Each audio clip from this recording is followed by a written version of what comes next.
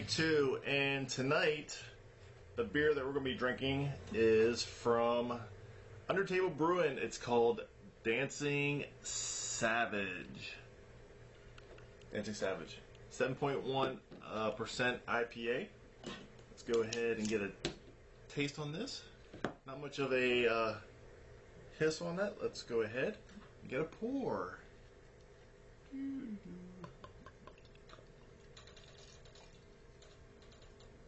Get a little aggressive with this.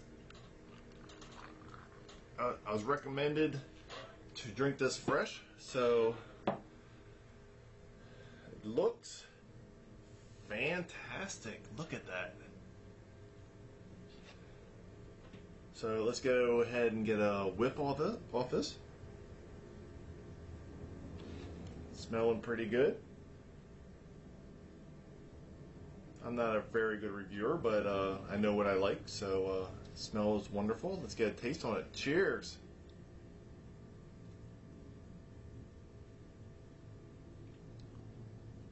Oh wow. Uh, it's a little bit. Uh, it's.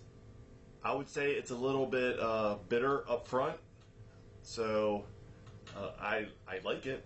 It's a little bit. It's more different than I, um, I was I'm used to from from the, those guys.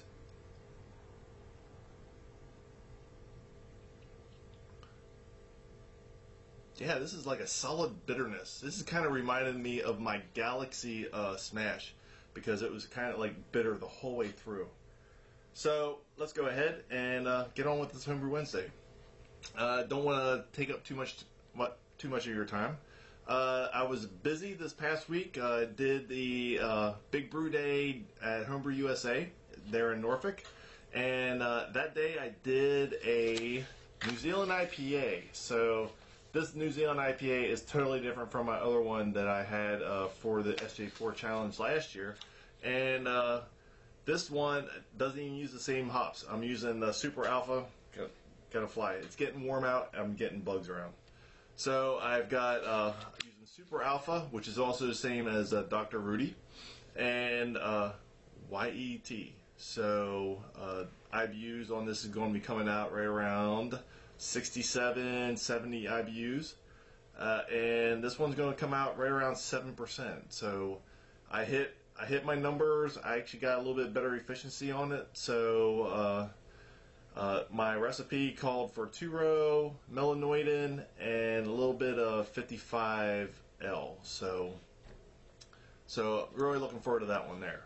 So, but I got another brew day. Uh, I don't have much footage. I got a little bit of footage on the new, on the big brew day, but it was a pretty busy day because big brew day. I kind of I like helping other people uh, brew. So uh, I didn't get. I got like one little clip on it. Uh, I did get one thing. I did get on uh, Big Brew Day, I got sunburned. And uh, Rick, uh, Rick Bish, which is Homebrew 62, he actually was smart enough to wear a hat. So, so I failed at that. So good to you, uh, Rick, because he had the hat on. Uh, but I had to work on my truck the other night, and I was over at uh, Barrage Brewer, and he said, "Hey, why don't we brew while we're working on your truck?" And I was like, "That's a good idea." So I made a uh, a beer. Let me get another drink on this.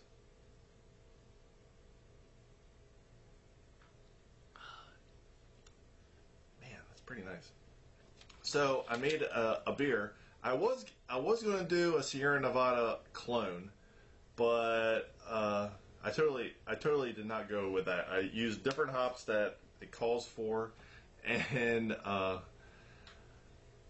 and I also added a little bit of Munich in it, so it's not even a Sierra Nevada clone. It's it's a just a pale ale clone or a pale ale. So uh, kind of excited about that. It's mainly uh, Cascade hops, uh, bittering. I'm using uh, Challenger and Mag- Magnum, and uh, so I'm really looking for that. I'm not going to be dry hopping that one. I'm going to uh, I did a a flame out hop edition, so I've got that going on there.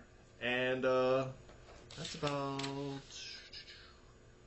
I got next weekend. I have the. Uh, I I'm helping out with a uh, with a beer fest in Norfolk. Uh, so if you guys are in the area, live close by, the beer fest uh, is two two two days on uh, in May. It's the 16th and 17th of May, and the 15th we're actually having a, a big 10 year anniversary for our homebrew club. So, uh, and that's going to be right down by where the beer fest is going to happen. So just let me know if you guys are in town. Uh, just leave a comment down below, and I will hook up with you guys if you guys are in the area. So uh, when we were at Big Brew Day on Saturday, uh, I'm going to give a shout out to Homebrew 62 again, and I'm going to give a shout out to Ant Rogerson because he made me both these guys, which is Rick and Ant, actually got me to get the Bible, the Homebrew Beer Bible. And uh, I bought this thing, and uh, I, really hadn't looked at it yet. And uh, Rick gave me a beer on Saturday of his mild, and the mild comes comes out like 3.7% alcohol. That's what he told me it was and it had it was full bodied. It was it was really really good. Uh, I am that is that was fantastic. It was a great great beer. Uh, good for like, just a quick. I would actually call that kind of a lawnmower beer because it's nice and light, and but it didn't taste. It was light, but it didn't taste light. It was it was it's a well it's a session beer, so wherever you have it. So that was a great, great uh, beer, Rick. Uh, Rick said he was nervous about me drinking. I was like, heck, Rick, I almost I enjoy almost every single beer you get me.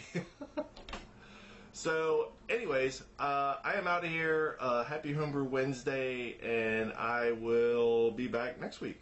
So hopefully I'll have more footage. Uh, I think our next uh, tasting on my homebrew club that will be on Dan's uh, or on Barrage Brewers uh, site. So I'll have a link down below. I'll put it down later, or I'll put it on next week's uh, if we do it over his over his uh, his bar. So, anyways, I am out here, and I'll see you guys later. Peace.